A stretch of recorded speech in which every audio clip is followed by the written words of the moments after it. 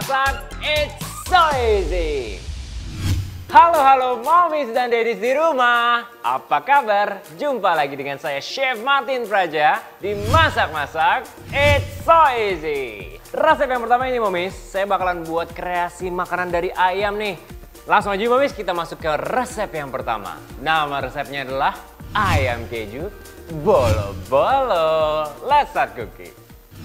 Kita bumbuin ayamnya dengan garam dan juga merica bubuk momis. Habis itu harus dipijit-pijit nih. Dipijit-pijit biar bumbunya masuk meresap masuk ke dalam.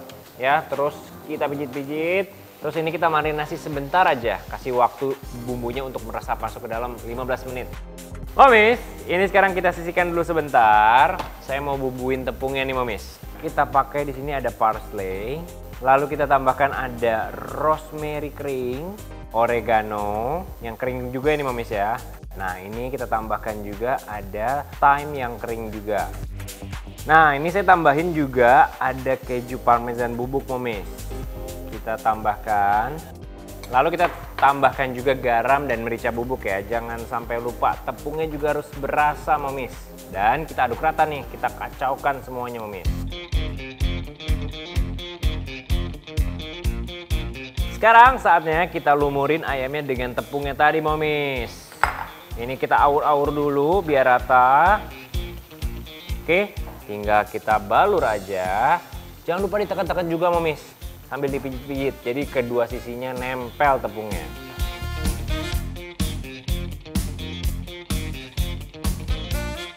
Momis, jangan lupa ya semuanya dibalur seperti ini, ditepungin biar nanti crispy pas kita buatnya. Mami, setelah kita balur dengan tepung, ini kita balur lagi dengan telur ya. Sampai setelah ini balik lagi ke dalam tepungnya Mami. Kita balur lagi biar crispy. Terus tinggal kita goyeng-goyeng deh.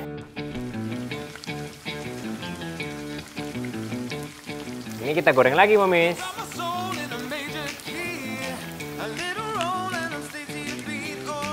Momis, ini sekarang sudah mematang nih Momis. Warnanya udah kecoklatan dan tuh ini aja dimakan gini tuh sebenarnya udah enak Momis pakai nasi putih.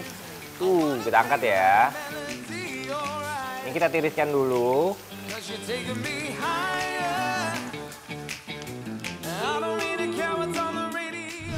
Kita tumis dulu bawang bombaynya.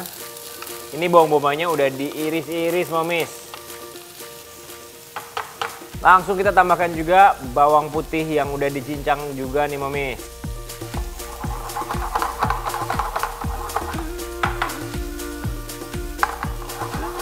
Langsung kita tambahkan di sini ada tomat yang sudah saya potong-potong. Kita tumis lagi, kita aduk rata, kita kacau-kacaukan. Lalu kita tambahkan air sedikit ya Mamis. Dan kita tambahkan juga saus tomatnya. Ini juga bisa diganti dengan pasta tomat. Kita aduk rata. Momis, ini kita tambahkan basil kering. Lalu kita tambahkan juga Italian seasoningnya ataupun oregano. Lalu ada parsley, thyme bubuk, dan juga rosemary bubuk. Sedikit-sedikit saja sesuai seleranya momis ya. Lalu kita aduk dulu. Sekarang kita tambahkan bumbunya momis. Kita tambahkan garam. Sedikit merica bubuk. Dan sedikit kaldu jamur. Momis, ini sekarang saus bolognese udah siap nih. Kita bakalan panggang ayamnya Tuh momis, udah blebek-blebek sausnya. Wih, wih, wih, jadi pada ngiler kan? Dan kita siapkan dulu pinggan ataupun wadahnya untuk kita taruh ayamnya dan juga sausnya.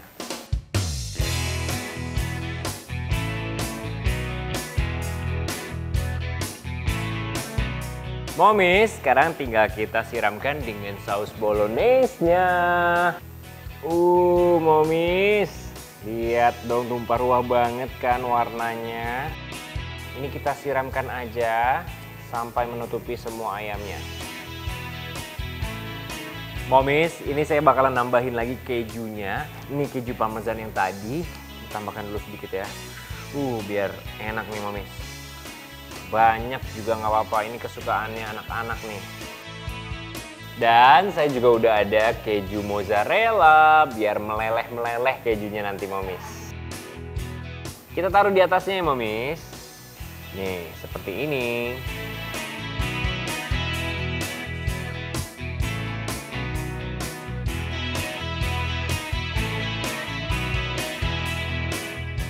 Momis, ini sekarang kita akan tutup dengan aluminium foil. Ini tujuannya supaya kejunya bisa meleleh tapi kalau momis nggak punya aluminium foil, boleh langsung dipanggang, tapi dengan menggunakan api atas ya. Suhunya kalau pakai aluminium foil 200 derajat celcius selama 5 menit. Nah, kalau pakai api atas cukup di suhu 170 selama 5 menit. Oke Momis, sekarang kita pindah ke oven. Saya sudah memanaskan panggangannya.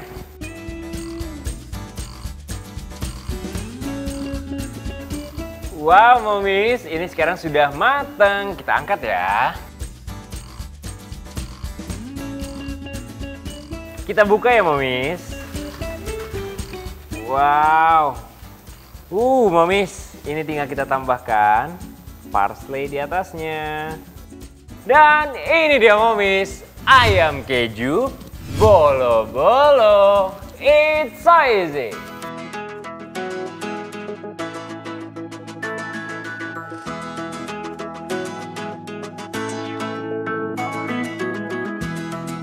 Momis, ini kita cobain bareng-bareng ya Momis.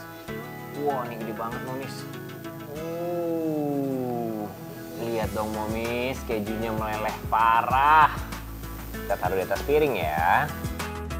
Wadaw Momis, dari wanginya aja udah menggoda dan sampai kan ke rumah Momis. Ayamnya bukan main Momis, gurih dan crunchy-nya pas. Dipadu sama saus bolognese yang menyatu banget deh di lidah. Kejunya menambah sensasi creamy dan sausnya bikin menu ini sempurna. No debat deh momis. Cus, langsung di recook ya momis. It's so easy. Momis, lanjut yuk ke resep yang selanjutnya. Kita bakalan buat kreasi makanan dari mie-mihan lagi nih momis. Langsung aja yuk momis, kita buat nama resepnya adalah Bak Mimpi Indah. Let's start cooking. Ini kita tumis dulu ya bawang putihnya. Kita tumis sebentar. Langsung kita masukkan juga ayamnya momis. Ayam ini saya pakai dada ayam ya. Kalau mau diganti paha boleh biar empuk dagingnya. Langsung kita tambahkan bumbu pelengkapnya momis. Ada serai, lalu kita tambahkan juga daun salam, lengkuas, jahe, kita tumis lagi.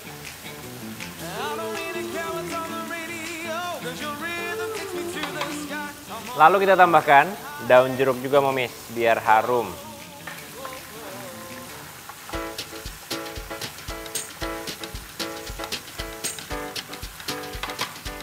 Lalu momis kita tambahkan air sedikit untuk mematangkan ayamnya.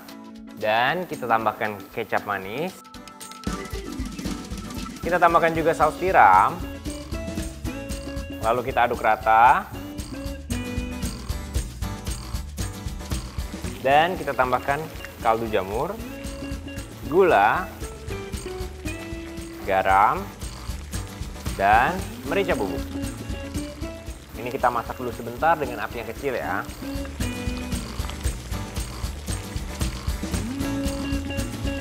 Momis, ini sekarang ayamnya sudah siap nih. Kita bisa lihat tuh ayamnya udah warnanya kecoklatan dan kandungan airnya udah berkurang. Ini sekarang kita akan sisihkan dulu ya.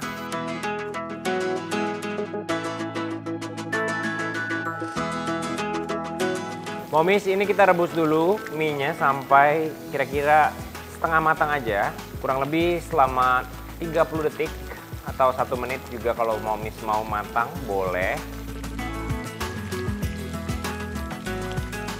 Kita rebus dulu sebentar.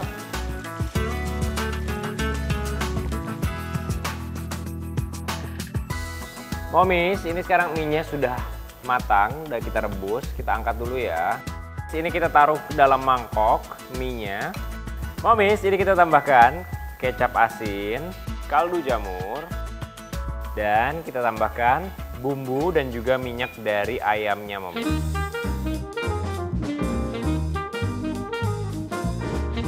Lalu kita aduk-aduk ya, Momis, sampai semuanya tercampur rata.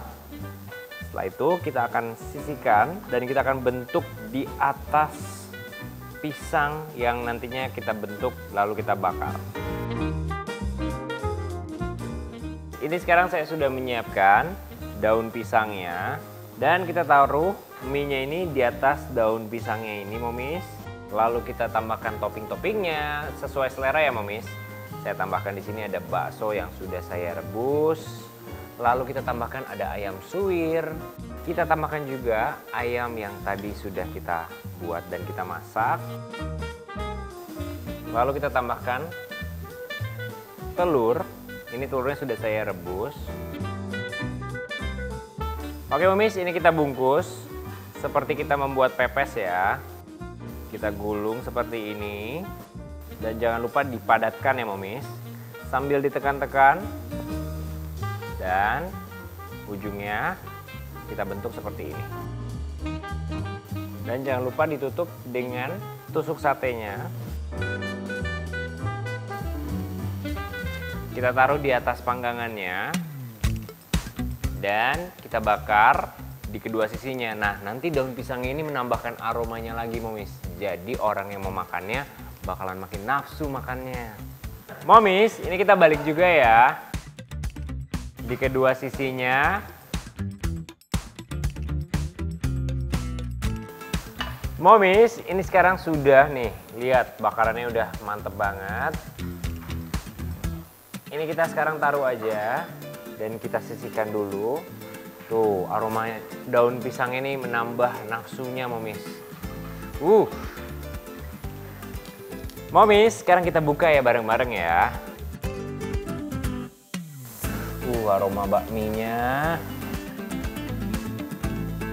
Uh. Wow.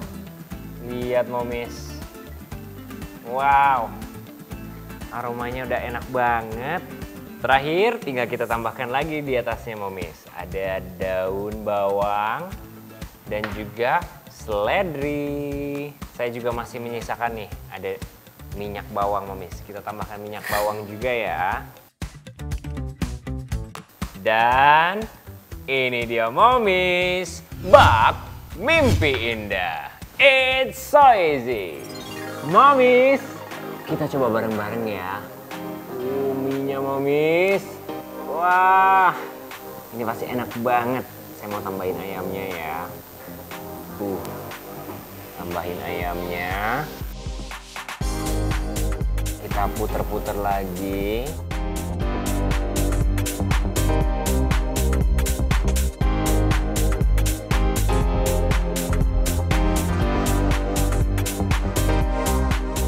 Kita coba Mamis.